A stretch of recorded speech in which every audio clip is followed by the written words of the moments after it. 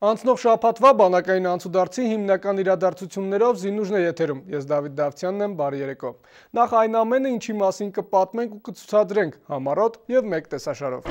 Զորավարժություններ, որոնց ուշի ուշով հետևում էր հակառակորդը Հայաստանի եւ Արցախի Միացյալ Զորախմբի ուղերձը Բաքվին, չարժ է նոր պատերազմ հրահրել։ Տարիներով կուտակված խնդիրը լուծում է ստանում զոհված եւ առաջին կարգի հաշմանդամ զինծառայողների ընտանիքներին հանձնվեցին բնակարանների առաջին վկայագրերը։ Գլխավոր շտաբի պետի բացառիկ հարցազրույցը Մեդիամաքսին գլխավոր խնդիրն անփոփոխ է։ Մեր ժողովրդի անվտանգության ապահովումը մեր սահմանների անառիկությունը։ Հոգևոր ծառայությունը 20 տարեկան է բանակն ու եկեղեցին հանդիսավորությամբ նշում են պետության ու հասարակության երկու հենասյունի միասնական աշխատանքի հոբելյանը։ Հանճարեղ հայորդու Հոբելյանին նվիրված միջոցառումները շարունակվում են մարդկության պատմության ամենաարյունալի պատերազմում հաղթանակի կերտման առանցքային դերակատարներից մեկին նվիրված միջոցառում իր իսկ անվամբ Պողոտայում։ Այս շաբաթ Արցախում իր ծավալով ու ընդգրկումով աննախադեպ զորավարժություններ էին։ Որպես կանոն զորավարժությունը լավագույն հնարավորությունն է բանակի մարտունակությունը, առաջադրված խնդիրները լուծելու ունակությունը խաղաղ պայմաններում ստուգելու համար։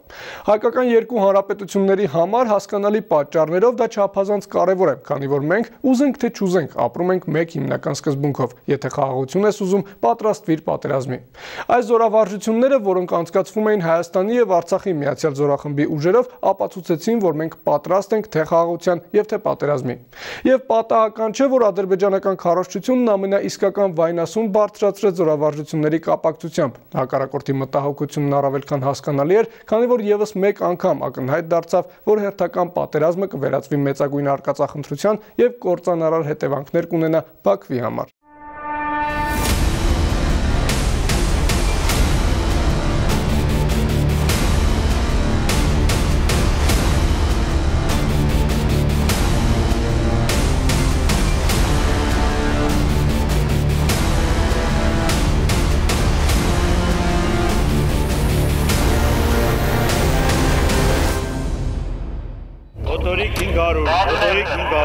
500 եւ ֆոտորիկ 88 Սկսել։ Հայկական զինուժը հակառակորդի շահություն է նկատել։ Համազարկով, կրակ։ Հրաման ընդունված է պաշտպանական գործողությունները սկսված։ Միացյալ զորախմբի կազմում ընդգրկված զրահատանկային գումարտակների զորավարությունները վճռական փուլում են։ Զորադաշտում ծավալվող գործողություններին հետևում էին հայկական երկու հանրապետությունների փոխգործակցության շրջանակում Արցախ այցելած նախագահ Սերժ Սարգսյանը, Արցախի նախագահ Բակո Սահակյանը, Հայաստանի եւ Արցախի հանրապետությունների պաշտպանության նախարարներն ու զինված ուժերի բարձրաստիճան հրամկազմը։ Զորավարության սցենարի համաձայն ճեղքելով պաշտպանության շրջանի առաջնագիծը հակառակորդը հանկարծակի անցել էր հարձակման։ Զորավարության ղեկավարի ազդանշանով Միացյալ զորախումբը արկա բոլոր միջոցներով ուղիղ նշանառությամբ խոցում եւ կասեցնում է հակառակորդի առաջ շարժվող ստորաբաժանումները։ Այնուհետև անցնելով հակագրոհի եւ ճեղքելով հակառակորդի պաշտպանությունը յուրային ստորաբաժանումները զբաղեցնում են բարենպաստ բնագիծ։ Հակառակորդը ջախջախված է, հայկական դիրքերը անսասան։ Ընդհանուր առմամբ մարտական հրաձգության մարտավարական զորավարությունների արժեր դրված նպատակներին հասել ենք զորախմբում գործող զրատանկային գումարտակները արկա ուժերով եւ միջոցներով առանց լրահամալրվելու ունակ են գործելու ինչպես զորախմբի կազմում, այնպես էլ ինքնուրույն առանձին ուղություններում Զորավարության նպատակն էր ստուգել զրատանկային գումարտակների եւ հրետանային ստորաբաժանումների մարտական պատրաստականությունը, գատելագործել մասնակից զինծառայողների հմտությունները պաշտպանության անցած հակառակորդի ջախջախումը ապահովելու գործում։ Տանկիստները միշտ ուժեղ են ելել, ուժեղ էլ կմնան։ Մեկ ամսից ժամկետային զինծառայությունն ավարտող Էդուարդը մեկն էր զորավարության ընթացքում լավագույնս հանդես եկած զինծառայողներից, որոնք իրենց վարժ ու անվրեպ գործողություններով մեկ անգամ եւս ապացուցեցին. մեր բանակը մարտունակ է, պատրաստ կանխելու հակառակորդի սադրանքները։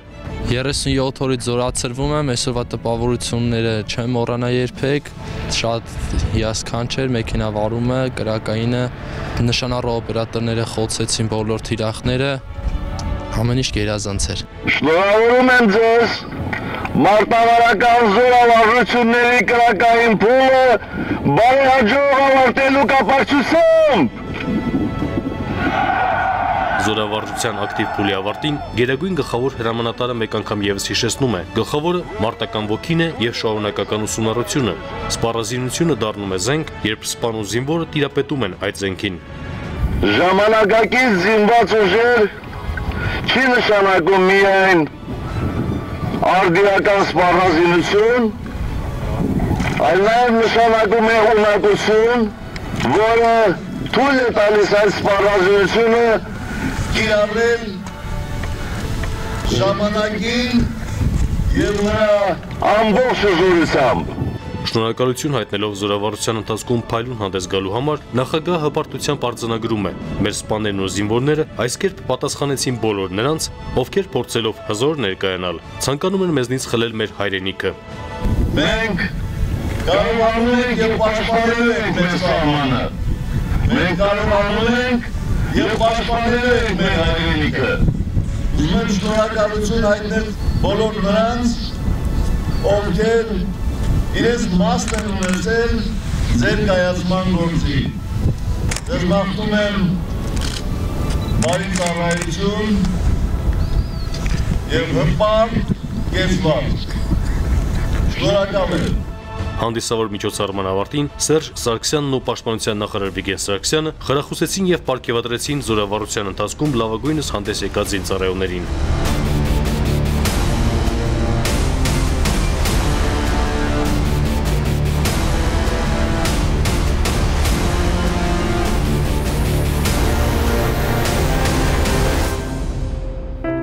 Աշխատանքային շրջայցի ընթացքում հայկական հանրապետությունների նախագահները Արցախի տարբեր զորամասերում ներկա գտնվեցին նոր ճաշարանի, զորանոցների եւ զինվորական ակումբի բացման արարողություններին։ Նախագահներն ու նրանց ուղեկցող անձինք շրջեցին նորաբաց շինությունների տարածքով, ծանոթացան զինծառայողների համար տարեստարի բարելավող սոցիալ-կենսաղային պայմաններին։ Յուրաքանչյուր նման միջոցառման ավարտին նախագահ Սարգսյանը հանդիպում եւ խրախուսում էր տվյալ ստորաբաժանումների լավագույն զինծառայողներին, հետաքրքրվում նրանց խնդիրներով եւ հոգսերով։ Պարգևատրում եմ Հայաստանության նախագահի կողմից այդ համար մեծ պարգև է։ Շատ մեծ հպարտություն եմ զգում։ Մեծ զգացողություն է։ Չես կարող այդ բանը մոռանաս։ Նույն օրը նախագահ Սարգսյանը ներկա գտնվեց նաև բազմաբնակարան բնակելի շենքի շահագործման հանձնման արարողությանը։ Տարիներ շարունակ բնակարանային ապահովման հերթի մեջ ներառված զինծառայողների եւ պայստազորի սպաների ընտանիքների համար բաղձալի այդ օրը ոչ ոք չէր ཐակցնում իր հուզմունքը։ Բոլորը շտապում էին գնահատանքի անկեղծ ու սրտաբուխ խոսքեր հայտնել նախագահներին եւ պաշտպանության նախարարներին։ Թող մեր հրաշանում դիրի իշխանություն ու եւ մերոզոտ բանակի զորություն ցույց տա միակ զորավարությունների ժամանակ եւ ես պատրաստ եմ միշտ ծառայել մեր հայրենիքին եւ հարկի դրա ժամանակ լինեմ ես որի կողքին Խորհրդանշական կարմիր ժապավենը կտրելու պատիվը ստանձնած Սոֆիան, Մերին եւ Ռոբերտը միջոցառման ամբողջ ընթացքում սրտատրոփ սպասում էին այն պահին, երբ ոտք կդնեն իրենց նոր եւ սպասված բնակարանը։ Շատ ուրախ եմ։ Քույրիկների մայրը Ելենան անկեղծանում է. 14 տարի Արցախում ամուսնու հետ վարձով բնակվելուց եւ Քարորիայի տանջալից օրերը միասնաբար հաղթահարելուց հետո սա այն գերագույն խրախուսանքն է, որին արժանացավ իրենց փոքր ու համերաշխ ընտանիքը։ Ամուսինս որ ասեց անչափ ուրախ եմ ես մեկ շաբաթվա ընթացքում, շատ-շատ ուրախ եմ։ Ահա եւ մոտեցավ այդ պահը։ Եվս մի ակնթարթ եւ բազմաբնակարան շենքը դիմավորում է իր նոր բնակիչներին։ Ելենայի հետ ոտք ենք դնում նոր բնակարան։ Ամուսինները անկարող են թաքցնել իրենց զգացմունքներն ու հիացմունքը։ Շատ լավ ամեն ինչ։ Ձեր սպասվածի նման է թե ավելի լավն է։ Ավելի լավն է։ Ես առաջի անգամ եմ այսօր գալիս, ամուսինս եւ երեխան եկել էին նայել էին, բայց ես չի եկել։ Եվ տպավորությունները։ Տպավորությունը շատ մեծ է, շատ։ Հիմնովին վերանորոգված բնակարանը ապահոված է խոհանոցային կահույքով, գազի ջեռոցով ու ջրատակացուցիչով։ Ամենակոկիկ է ու պատրաստ իր հարկի ներքո ընդունելու նոր բնակիչներին։ Րոպեներ անց Մելքոնյանների նոր բնակարանն այցելեց նաև նախագահ Սերժ Սարգսյանը։ Գերագույն գլխավոր հրամանատարը շնորհակալություն հայտնեց փոխգնդապետ Մանուկ Մելքոնյանին բարեխիղճ ծառայության համար, բաժակ բարձրացրեց, շնորհավորեց նորաբնակներին։ Մենք ենք շնորհակալ, որ ծառայողները որ Աշխատանքային այցի վերջին օրը նախագահ Սերժ Սարգսյանը Արցախի նախագահ Բակո Սահակյանի հետ հայկական երկու հանրապետությունների փոխգործակցության շրջանակում այցելեց Ասպարեզ ուսումնական կենտրոն, որտեղ նրանց ներկայացվեցին հայկական արտադրության նոր զինտեխնիկայի մարտավարատեխնիկական բնութագրերը, դրանց ունակություններն ու հնարավորությունները։ Ներսես Իվանյան, Վոլոդիա Տեր-Աստվածատրյան, Զինուժ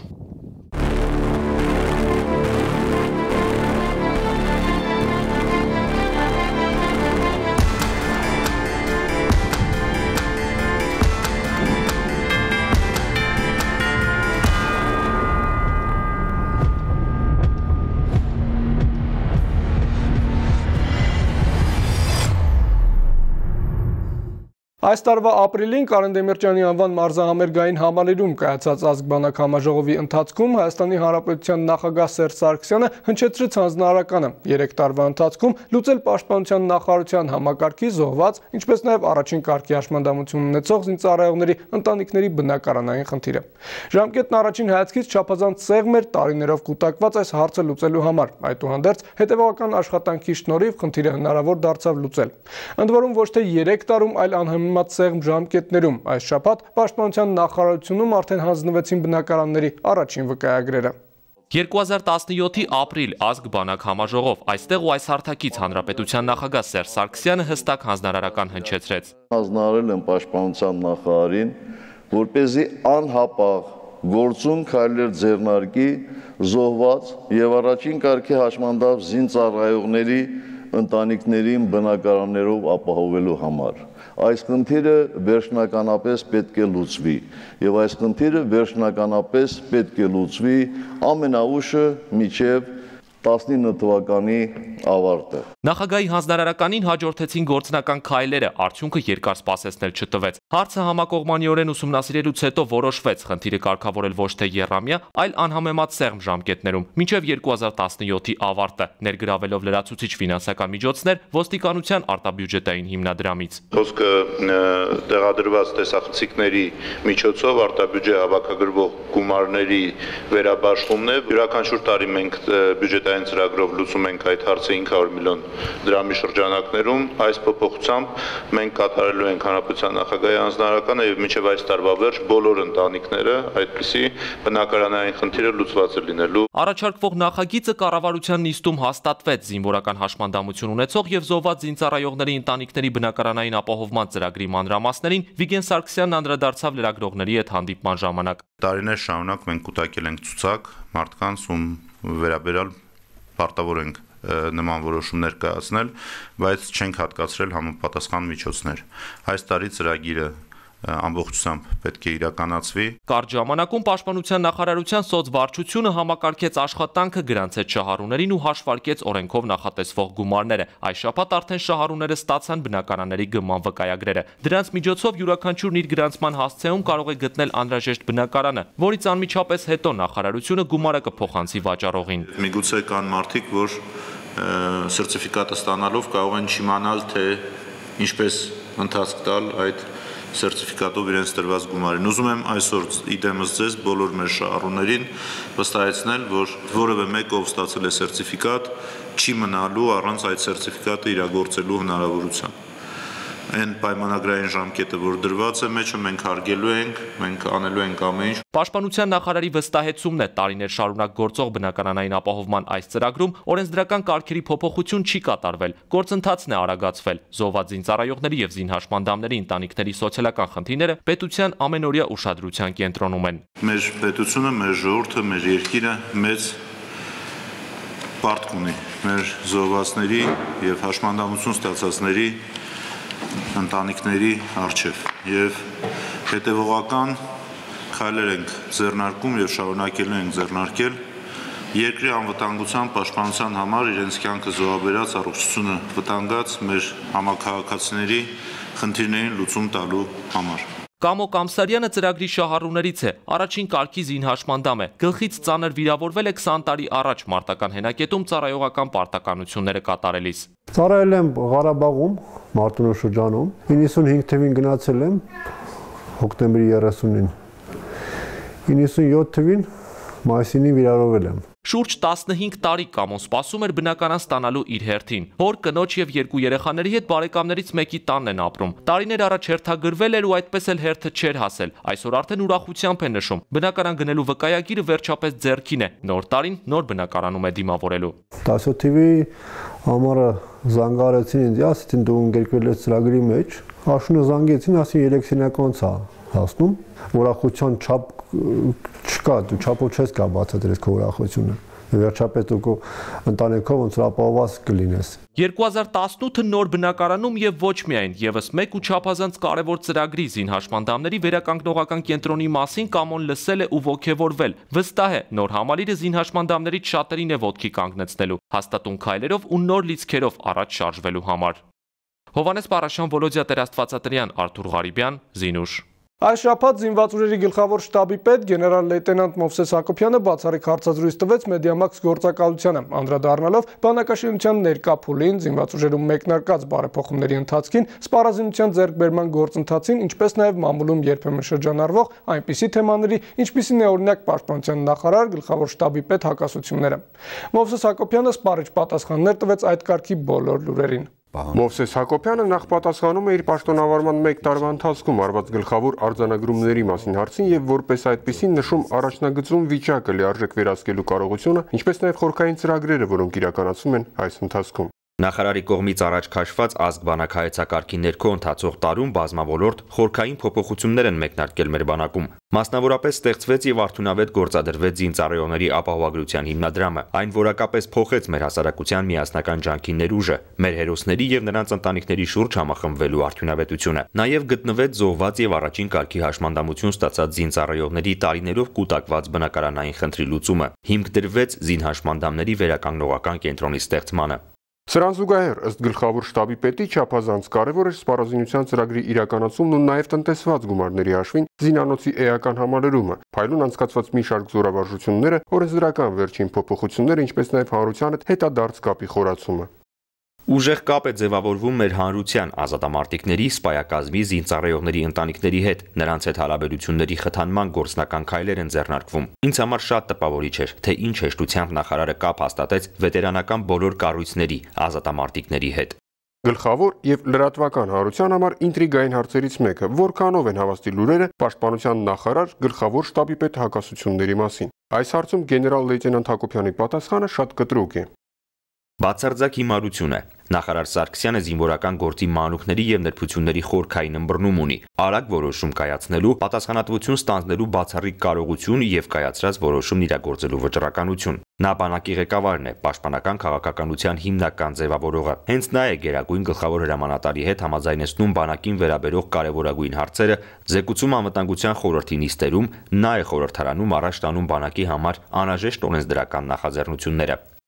Այդ դեպքում ինչպես է կատարվում աշխատանքի բաժանումը բանակում, բարձրացած ով ինչի համար է պատասխանատու։ Երբեմն լրատվամիջոցների ուշադրության կենտրոնում հայտնվող այս հարցն իրականում շատ բարձ պատասխան ունի։ Շտաբը պատասխանատու է պաշտպանության ռազմական բաղադրիչի համար։ Դա պաշտպանական քաղաքականության մի մասն է միայն։ Պաշտպանության նախարարի աշխատանքն անհամեմատ ավելի մեծ է եւ լայն, այն ունի ռազմավարական բնույթ։ Եվ ընդամենը 1 տարում մենք ականատես եղանք, թե ինչպես այդ աշխատանքը կարող է ուժեղացնել երկրի բանակը, զինված ուժերը, ինչպես այն կարող է բարձրացնել հասարակության հարգանքն ու վստահությունը զինված ուժերի նկատմամբ։ Վերջապես, ինչպես կարող է ներազդել յուրաքանչյուր զինծառայողի շարքայինից մինչև գեներալ ինքնագնահատականի վրա։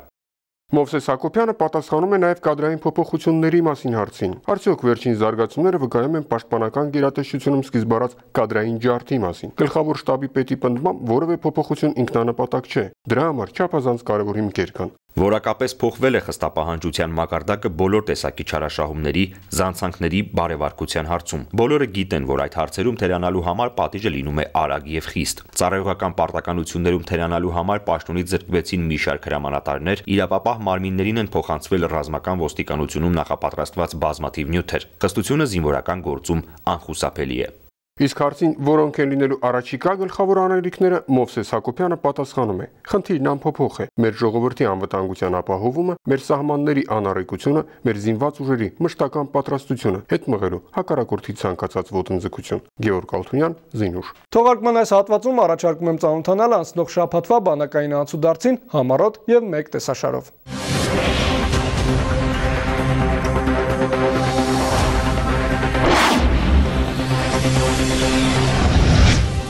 Դեկտեմբերի 7-ին Պաշտպանության նախարար Վիգեն Սարգսյանն ընդունել է Հայաստանի Հանրապետությունում Ֆրանսիայի նորանշանակ արտակարգ եւ լիազոր դեսպան Ժոնաթան Լակոթին։ Նախարարը շնորհավորել է դեսպանին պաշտոնի ստանձնման կապակցությամբ եւ մաղթել նոր ձեռքբերումներ Հայաստանում իր դիվանագիտական առաքելության ընթացքում։ Վիգեն Սարգսյանն ընդգծել է, որ քաղաքական, տնտեսական եւ մշակութային ոլորտներում հայ-ֆրանսիական հարաբերությունների ներկայիս բարձր մակարդակը պարտավորեցնում է զարգացնել համագործակցությունը նաեւ պաշտպանական բնագավառում։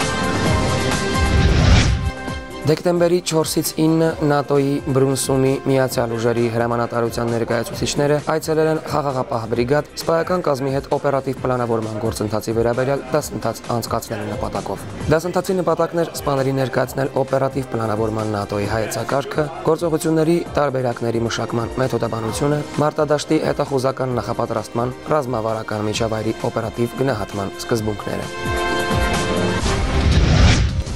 Հայաստանի ազգային հերոս անկախության նվիրյալ մարտիկ Մովսես Գորգիսյանն այս տարի կդառնար 56 տարեկան։ Ազգային ազատագրական պայքարի առաջամարտիկի ծննդյան օրվա կապակցությամբ դեկտեմբերի 3-ին այցելություններ կազմակերպվել Ծիծեռնակաբերդ։ Անուրանալի է Գորգիսյանի ավանդը 80-ականների վերջին սկսած ազգային զարթոնքի վերածննդի եւ անկախության կերտման գործում։ 1988-ի մայիսի 28-ին հերոսայորդու շնորհիվ երկարամյա ընդմիջումից հետո ազատության հրապարակում կրկին ծածանվեց հայոցի հերագույնը, որից հետո Մովսես Գորգիսյանը դարձավ անկախ Անկախության բանակի հիմնադիրներից մեկը։ 1990-ի հունվարի 19-ին Մովսես Գորգիսյանը հերոսաբար ընկավ մարտի դաշտում։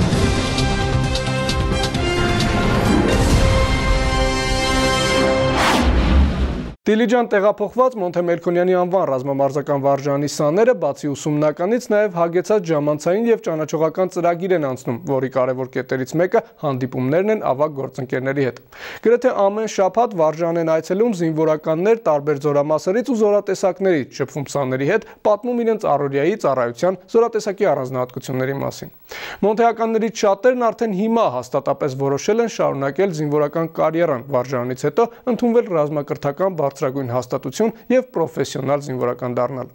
Այս շաբաթ վարժանի սաները հյուրընկալվել էին կրթօջախներում, ուր պատրաստվում են ընդունվել ընդամենը մի քանի ամիս անց։ Անցնում ենք զորքերի կառավարման ավտոմատ համակարգերը, նույնը կատարում համակարգ։ Ներկայացնում է ռազմական համալսարանի սպան մանրամասնում յուրաքանչյուր մասնագիտության առանձնահատկություններն ու նրբությունները։ Այստեղ ստանում են բարձրագույն կրթություն զինվորական մի քանի ուղություններով։ Որը 3 դաս անցկացվում, տենց ժամը 9-ից մինչև 2-ը։ Լսարաններում կուրսանտները յուրացնում են տեսականը վարժասարքերով գործնականը սերտում։ Սա ռազմական համալսարանի առօրյան է, որին ծանոթանում են ապագա կուրսանտները։ Մի համալսարանից մյուսը Մոնտեմելքոնյանի անվան ռազմամարզական վարժանի սաներն են շրջում, ծանոթանում կրթական ծրագրերին, մասնագիտություններին ու ընտրում իրենց համար հոգեհարազատը։ Սա հնարավորություն է կողմնորոշվել մասնագիտության հարցում տեղում, նախապես եւ ստանալ հետաքրքրող հարցերի պատասխանները։ Ֆակուլտետի պետերի հետ զրուցելուց հետո հասկացանք, թե որ որ մասնագիտությունն է մեզ ավելի հոգեհարազատ։ Կողմնորոշվեցինք հստակ պատկերացում կազմեցիք, թե որ մասնագիտությունները իրանից ինչ դրժություն է ներկայացնում եւ հետագայում զորքերու ծառայության գծով որը ինչ դժվարություն է իրանից ներկայացնելու։ Սաների մի մասն արդեն ընտրել է մինչև այցը շրջայցի ընթացքում մանրամասներին է ծանոթանում օրակարգին, դասացուցակին ու պայմաններին։ Այստեղ կարող են դառնալ կրթված սպաներ ու տիրապետել իրենց կցված սպառազինությանը եւ ռազմական տեխնիկային։ Որոշել եմ ընդունվել ամենակոնֆիդենցիալ ռազմական ինստիտուտ, որպեսի դառնամ ինժեներ մեխանիկ հետաքրքրված եմ այդ մասնագիտությամբ, որովհետև ինձ հետաքրքիր է ուղաթիռները եւ ինքնաթիռները։ Հույս ունեմ, որ օգտակար կլինեմ հայոց բանակին իմ ծառայած իմ կատարած ծառայություններով։ Պաշտպանության նախարարության ենթակայությամբ գործող ռազմական երկու համալսարաններն էլ պատրաստում են մասնագետներ զինված ուժերին անհրաժեշտ բոլոր ուղություններով։ Սաների մի մասին հետաքրքրում է օթային օբյեկտներում ծառայությունը, մյուսներին հակաօթային պաշտպանությունը, մի մասն էլ ձգտում է ղեկավարել ստորաբաժանումներ, լինել մարտական տեխնիկայի խցիկում կրթությունս ընտրել եմ ռազմական, շարունակել եմ Վազգեն Սարգսյանի անվան ռազմական համալսարանում։ Մոնթե Մելքոնյանի անվան ռազմամարզական վարժարանի ղեկավարության նախաձեռնությամբ ավարտական դասարանների սաները շրջում են ռազմաուսումնական կառույցներում։ Կրթահամալիրի ղեկավար կազմը սաներին ներկայացնում է նաև պայմանները արտասահմանյան ռազմական հաստատություններ դիմելու եւ այնտեղ սովորելու համար։ Երեխաները կարողանան հանդիպել ղեկավարների հետ, հարցեր տալ ընդունելության վերաբերյալ, մրցույթի վերաբերյալ, ծանոթանան պայմանների տներին, կացարանին, ճաշարանին, այն ինչ որ իրենց սպասում է ապագայում։ Վարժանի սաները շրջայցի ընթացքում զրուցեցին կուրսանտների, նրանց դասախոսների ու ռազմական համալսարանների ղեկավարների հետ, ուղղեցին իրենց հարցերն ու ստացան պատասխաններ ուսումնական տարվա ավարտին որպես դիմորդ ներկայանալու համար։ Դավիթ Դավթյան, Վահե Այվազյան, Զինուշ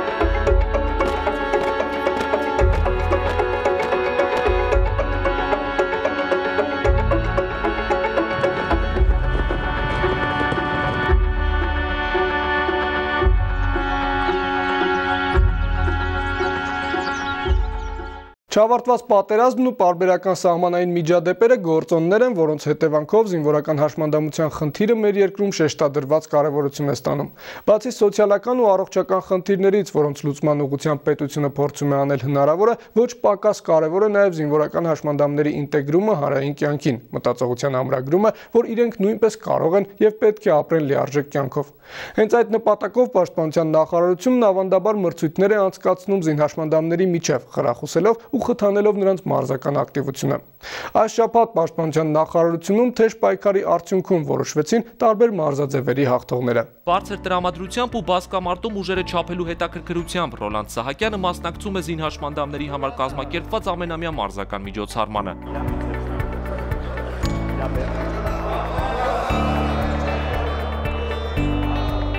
Տղաներից շատերին ոգևորել է մայոր Սարգիս Ստեփանյանի օրինակը, ով օրեր առաջ հաշմանդամություն ունեցողների բասկամարտի աշխարհի չեմպիոն է դարձել։ Լեհաստանում կայացած առաջնությունից Սարգիսը Հայաստանը վերադարձել երկու ոսկե եւ մեկ արծաթե մեդալով։ Այս մրցաշարում էլ մրցավարի կարգավիճակում է։ Տղաներին խորհուրդներ է տալիս նրանց հետ կիսում հաջողության իր բանաձևը։ Խորհուրդները նայա որ երբեք նրանք չընկճվեն իրանց ձեռք վերած հաշմանդամությունից, որ շարունակվում է կյանքը, ապրեն առողջ մտածելակերպով, մարզվեն, սպորտով զբաղվեն։ 4 մարզաձև՝ սեղանի թենիս, բասկամարտ, շաշկի ու շախմատ։ Յուրաքանչյուրում ըստ վիճակահանության որոշված խմբերի զինհաշմանդամները մրցում են մեկ կարևոր համոզմամբ։ Սպորտը չունի սահմանափակումներ, գլխավորը ամուր կամքն է ու հավատը սեփական ուժերի նկատմամբ։ Մրցաշարի ընթացքին հետևում է նաև պաշտպանության նախարարը։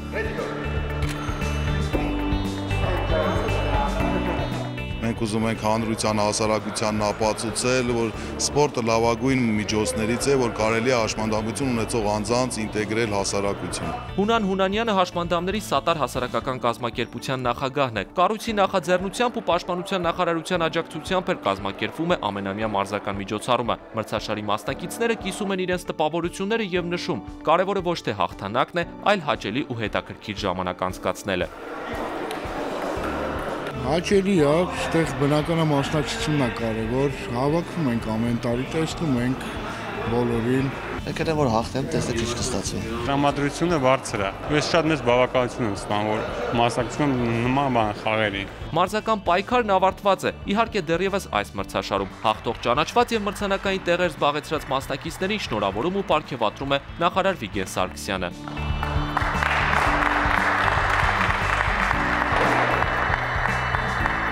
Իրականում հաշմանդամությունը մի վիճակ է, որ ցանկացած մարդու հետ ամենատարբեր պատճառներով կարա տեղի ունենա։ Կարևորը այն է, թե ինչպես է այդ մարդը դիմակայում այդ դժվարությանը եւ ինչքան է հասարակությունը պատրաստ լիարժեք ներգրավելու եւ բոլոր խնդիրներում կանգնելու հաշմանդամի կողքին։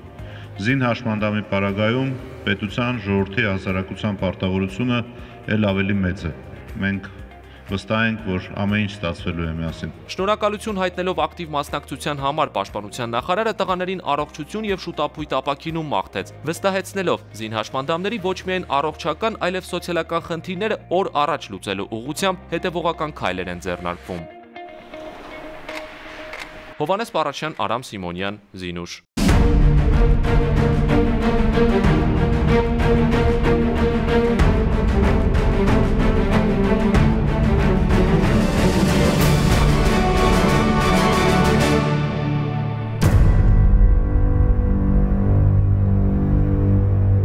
Ուղիղ 20 տարի առաջ եկեղեցի բանակ կապը որակական նոր հարթություն տեղափոխվեց. հոգևոր ծառայությունը ներմուծվեց բանակ ձևավորելով գնդերեցների չափազանց կարևոր ինստիտուտը։ Ժամանակն ապացուցեց, որ դրա կարիքն իսկապես կար։ Հիմա արդեն հոգևորականի ներկայությունը բանակում որևէ մեկին չի զարմացնում։ Գնդերեցները վաղուց արդեն դարձել են զինծառայողների հավատարիմ ընկերները, խորհրդատուները, ծանր պահերին ճշմարիտ ճանապարհը ցույց տվողները, անհրաժեշտության դեպքում նույնիսկ զինակիցները։ Եվ դա առավել քան օրինաչափ է հավատք ու բանակ, այն երկու մեծագույն արժեքները, որոնք դարերի վեր հայության գոյության երաշխավորն են եղել։ Այս շաբաթ բանակն ու հայ առաքելական եկեղեցին տոնում էին հոգևոր ծառայության 20-ամյա հոբելյանը։ Օրհնյալ Տեր մեր Հիսուս Քրիստոս ամեն։ Այմեն։ Որ եկինս ես։ Սուրբ Եղիցի անուն քո։ Եկես է արքայություն քո։ Եղիցին կամ քո։ Որպես եկինս եւ եւ թող մեզ արտիս կինսեր, որպես եւ մեկ թողունք մերոց պարտապանած եւ մի տաներս մեզի փրկություն, այլ փրկյաց մեզի չարը։ Զիքոյե արքայություն, Զիքոյե արքայություն եւ զորություն, եւ զորություն եւ փառք հավիտյանս ամեն։ Եվ փառք հավիտյանս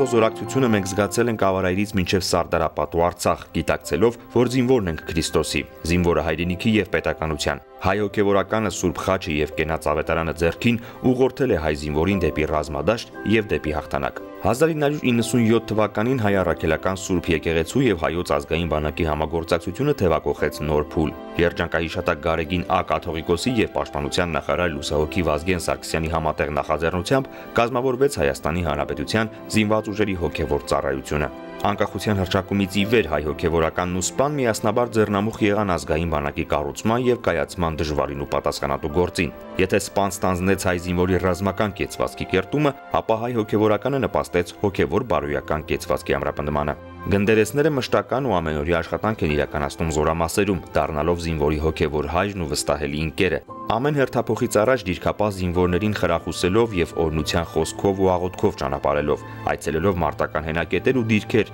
անհատական զրույցներ են հասկացնում զինծառայողների հետ, այցելում տներ, բուժկետեր, հոսպիտալներ, ինչպես նաեւ զինված ուժերի սպայական անձնակազմի հետ անցկացնում համաժողովներ, զինվորականներին հաղորդելով հոգեվոր ու բարոյակամային բարձր հատկանիշներ, համբերատարության ու ներողամտության, ընկերասիրության ու հայրենասիրության բացառիկ արժեքներ։ Ձերքին զենք, սրտում քաջություն, շուրթերին աղոթք ունեցող զինվորի ծառայությունը դառնում է ոչ թե պարտք, այլ նվիրական ու սրբազան առաքելություն։ Բազմաթիվ մարտական դիրքերում զինվորի ձեռքով մատուրներ են կառուցվել Քրիստոսի վերխոյացող հաղթական խաչով։ Պատահական չէ, որ այդ մատուրը դառնում է զինվորի հոգեհարազատ ու սիրելի վայրը։ Հենց այստեղ է, որ նա վերագտնում է իր հոգու խաղաղությունն ու անդորը, հաղորդում իր ընտանիքի անդամների համար, թոթափում ծառայության ընթացքում առաջացող հոգնությունը, մխիթարվում, լցվում նոր երանդով ու զորությամբ։ Մարտական հերթապահություն իրականացնող զինվորն ամեն անգամ մատուրից դուրս է գալիս հոգեպես ու բարոյապես առավել կայուն եւ ուժեղ դարձած, ապավինած Աստծո զորությանը։ Մարտերից առաջ մեր բանակն օրնել են հայոց հայրապետները եւ ուղեկցել բանակին խաչով ու խաչվառով։ Այս տարի ամենայն հայոց կաթողիկոսի հանդիսապետությամբ կատարվեց Հայաստանի Հանրապետության զինված ուժերի զորամիավորումներին ընծայվող զինվորյալ եկեղեցու հաղթության նշան խաչվառների օրնություն եւ հայոց բանակի զորատեսակներն ունեցան զորատեսակին հովանավոր տերունի եւ զորական սրբերի պատկերներով խաչվառներ։ Տարիների հերվից անդրադառնալով զինված ուժերում հայ հոգեվորականի 20-ամյա ծառայությանը ամենակարևոր արդյունքն ու փոփոխությունը, որ տեսնում ենք զինվորի մեջ, աղոթողի կեցվածքն է, պատրաստակամությունը կյանքը դնելու հայրենիքի զոհասեղանին իբրև քրիստոնեական սիրո գերագույն դրսևորում։ Գախնիկ չէ, որ ամենաուժեղ զինվորը հավատի ու գաղափարի զինվորն է։ Ոստի տիրոջ օրնությունն ակնկալելով միասնաբար ամուր հավատով պետք է կառուցենք հզոր բանակ, պաշտպանված հայրենիք, անկախությունը պահպանենք խաչով ու զենքով, գրչով ու աստվածային իմաստությամբ։ 20 տարին ամփոփելով կարող ենք մեկ բան ասել, որ մեր զինվորը այսօր այնքանով է ուրախ, որ իր կողքին կանգնած է ոչ միայն հայ առաքելական եկեղեցին իր գնդերեսներով, ոչ միայն աներևույթ Աստված, որ ներկա է գտնում զինվորի աղոթների մեջ, այլ իրապես ինքը զինվորը արդեն աղոթում է Աստծուն, զգում է այդ ջերմությունը Աստվածային, զգում է Աստծո ներկայությունը իր մեջ դրանով ինքը հզորանում է իր մեջից տարակուսանքն ու վախն են դուրս գալիս եւ ինքը դառնում է անկոտրուն, աննկուն։ Եվ դրանով իսկ ես ուրախ եմ, որ այդ առաքելության մեջ մենք չենք ձախողվել, իրապես եւ չեն ձախողվել այն մարդիկ, ովքեր վստահ էին, որ այս կառույցը իրապես պետք է իր կարևոր լուման բերի զինված ուժերի կայացման գործում։ Գաբրիել Ցունդուկյանի անվան ազգային ակադեմիական թատրոնում դեկտեմբերի 8-ի միջոցառումը նվիրված էր զինված ուժերի հոգևոր առաջնորդության հիմնադրման 20-ամյակին։ Այս ստեղծագործությունները զինվորների ձեռքի աշխատանքներն են հոգևոր թեմայով։ Զինվորից վեհապարին ու զինվորից նախարարին։ Այս մակագրություններն էին գրում Գավազանը եւ Խաչքարը, որոնք համապատասխանաբար հանձնվեցին ամենայն հայոց կաթողիկոսին եւ պաշտպանության նախարարին։ Զինված ուժերի հոգևոր առաջնորդ Վրթանես եպիսկոպոս Աբ รา համյանը նախ ներկայացրեց առաջնորդության ստեղծման պատմությունն ու անցածուղին, ապա ընդունեց ամենայն հայոց կաթողիկոսի օրնության գիրը։ Նոր ձեռքբերումներ ենք մաղթում մեր քաջարի բանակին, բանցալի ծառայություն բոլոր սպաներին ու մարտիկներին։ Աղոթում ենք, որ Աստված իր աչի ներքո պահպանի ձեզ եւ օրհնի ձեր եւ ձեր ընտանիքների կյանքը։ Թող խաղաղությունը ամուր ու հաստատուն լինի հայրենի մեր սահմաններում։ Թող երկնավոր Տերը պահպանի մեր ժողովրդին եւ զորացնի ու բարոր դարձնի հայրենի մեր երկիրը։ Թող արգասաբեր ու պտղաբեր լինի մեր եկեղեցու առաքելությունը իփարս Աստուծո եւ ի պայծառություն ազգիս։ Շնորհք, սեր եւ խաղաղություն մեր Տեր Հիսուս Քրիստոսի թող լինի միշտ մեզ հետ եւ ամենքի ամեն։ Պաշտպանության նախարար Վիգեն Սարգսյանն էլ նշեց, որ պետականության բացակայության դարերի ընթացքում եկեղեցին է իր ուսերին կրել մեր ժողովրդին միավորելու, կրթելու, անհրաժեշտության դեպքում մարտի դաշտ տանելու բոլոր գործառույթները։ Եկեղեցին չի կարող անջատ լինել ոչ պետությունից, ոչ բանակից։ Դա ամրագրված է մեր սահմանադրության, օրենսդրության եւ ամենակարևորը յուրաքանչյուր հայի սրտի մեջ։ Մարտի դաշտը մեր համար միշտ առնչվել է նաեւ այն հոգեվորականների հետ, որոնք երբեք հետ չեն մնացել եւ հաճախ առաջնորդել են հայկական զորքը։ Գարեգին առաջին վեապարի օրոք հիմնադրվեց եւ վեապար հայրապետի Գարեգին երկրորդ ամենայն հայոց կաթողիկոսի օրնությամբ ամրանում է հոգևոր առաջնորդությունը զինված ուժերում։ Դա այն ուժն է, որը պետք է մեր բանակը դարձնի յուրահատուկ։ Դա այն ուժն է, որը պետք է ազգային ոգի եւ նոր միջավայր ձևավորելու կարևոր միջոց դառնա մեր զինված ուժերում։ Տոնական միջոցառումը շարունակվեց համերգային ծրագրով, որի ընթացքում զինված ուժերի գլխավոր շտաբի զինվորական եւ Նարեկացի նվագախմբերի, Ծաղկազարդ եւ Գևորքյան հոգեվոր ճեմարանի երգչախմբերի ու Նժդեհ պարախմբի կատարմամբ հնչեցին շարականներ, հոգեվոր ու հայ դասական ստեղծագործություններ։ Զավեն Մաթեոսյան, Արթուր Ղարիբյան, Վոլոդիա Տերաստվածատրյան, Զինուշ։ Ժողովրդի կողմից ինձ վստահված Ժողովրդի կողմից ինձ վստահված Պետական սահմանի մարտական դիրքը Պետական սահմանի մարտական դիրքը Պատրաստ եմ պաշտպանել ազնվիրաբար Պատրաստ եմ պաշտպանել ազնվիրաբար Մարտավորվում եմ սրբորեն կրել Մարտավորվում եմ սրբորեն կրել Հայրենիքի պաշտպանի հավերժական կոչումը Հայրենիքի պաշտպանի հավերժական կոչումը Լինել զգոն եւ խիզախ Լինել զգոն եւ խիզախ Պատվով կատարել որդիական մարդկս Պատվով կատարել որդիական մարդկս Հայրենիքիս Հայրենիքիս Եկեղեցուս Եկեղեցուս Ընտանիքիս Ընտանիքիս Ծնողներիս Ծնողներիս Զինակից ընկերներիս Զինակից ընկերներիս Հրամատարներից սերը Հրամատարներից սերը Արգանքն ու պատիվ վաստակելու համար Արգանքն ու պատիվ վաստակելու համար Աստծո օրնությամբ Աստծո օրնությամբ Հզոր հավատքով Հզոր հավատքով Միշտ պատրաստ եմ մարտի Միշտ պատրաստ եմ մարտի Անոնիմ Անոնիմ Մեր Մեր Եվ համայն Հայաստանի ապագայի Եվ համայն Հայաստանի ապագայի Երթում եմ Երթում եմ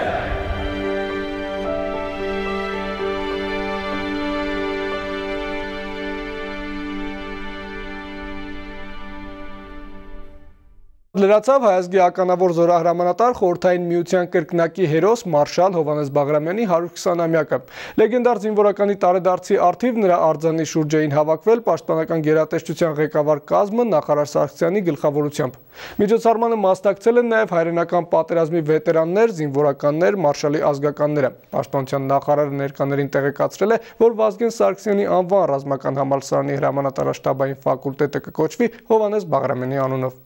Ընդ որում ռազմական փառահեղ ուղի կերտած զինվորականի 120 ամյակը տոնել են ոչ միայն Հայաստանում եւ Արցախում, այլ նաեւ նախկին ԽՍՀՄ երկրներում։ Ողջույն ձեզ։ Ողջույն Պաշտպանության նախարարի ողջույնին պատասխանում են ռազմական համալսարանների կուրսանտները, նրանց արչև գերատեսչության ղեկավարն է, բարձրաստիճան սպաներ ու մարշալի արձանը։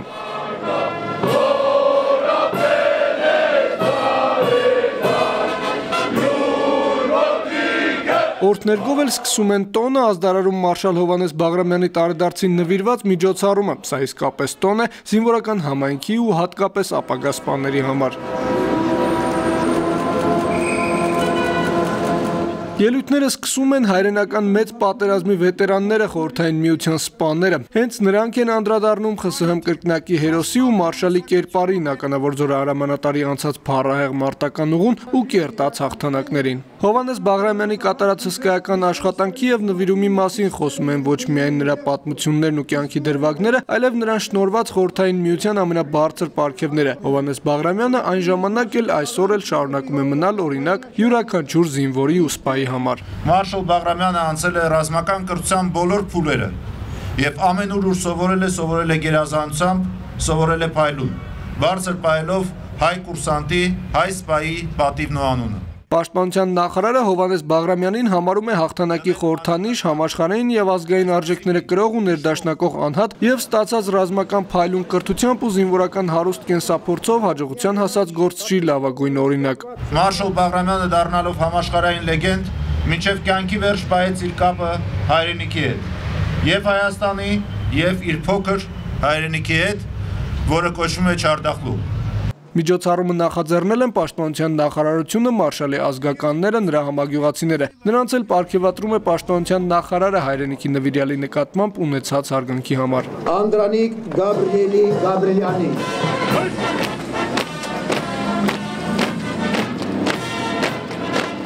Հանդիսավոր երթով, հետո նաև ամբողջ կազմով սպաները եւ կուրսանտները համերգասրահ են շարժվում, լսում Մարշալ Բաղրամյանի կենսագրությունը, նրա կյանքի ու հաղթանակի մասին պատումներն ու անկեղծանում։ Հովանես Բաղրամյանը նշաձող է, որին պետք է ձգտել ու հասնել զինվորական կարիերայի ընթացքում։ Մարշալ Բաղրամյանը մեզ համար որպես հանդիսանում է վառ օրինակ գերազանց հրամանատարի, մարշալի, որ հասել է իր կյանքում մեծ բարձունքների եւ մենք ուսումնասիրելով պատմությունը շատ բաներ ունենք քաղելու Մարշալ Բաղրամյանի կյանքից, նրա կենսագրությունից։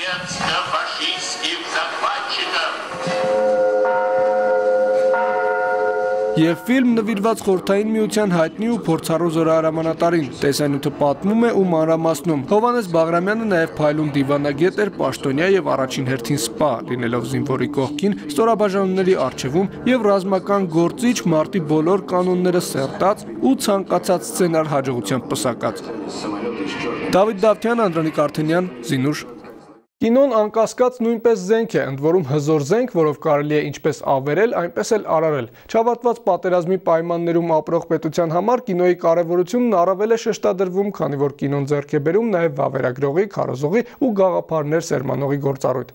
Արցախյան պատերազմից շուրջ 4 դար է անցել։ Նոր սերունդն այդ ժամանակ դեռ ծնված էլ չէր։ Եվ այդ պատերազմի մասին պատմելու լավագույն միջոցներից մեկը հենց կինոն է։ Նույնը ապրիլյան պատերազմի մասին իրադարձություն, որի պատառիկներն իմի բերելու ընթ հանրական պատկեր ուրվագծելու եւ այն հանրությանը ներկայացնելու կարեւորությունը դժվար է գերագնահատել։ Այս շաբաթ այդպիսի մի ֆիլմի Սամվել Թադևոսյանի Հարատև կռիվ ֆիլմի պրեմիերան էր։ Դեկտեմբերի 6-ին Սամվել Թատևոսյանի Հարատև կռիվ ֆիլմի անդրանիկ ցուցադրությունը Մոսկվա կինոթատրոնում էր մեկտեղել ազատամարտիկներին, զինվորականներին եւ ապրիլյան կարորիայի մասնակիցներին։ 12 մարտական օպերատորների նկարահանած տեսանյութերի հիման վրա պատրաստված ֆիլմը նվիրված է ապրիլյան Կարորիային եւ այդ պատերազմում հերոսացած տղաներին։ Գլխավոր նպատակն էր մեկ ֆիլմում միավորել Կարորիայի փաստավավերագրությունն ու այն փոխանցել եկող սերունդներին։ Մենք պետք է կարողանանք մեր հոգեվոր բարոյական արժեքները փոխանցել մեր զավակներին, մեր հետնորդներին, այլապես ամեն ինչ անիմաստ է։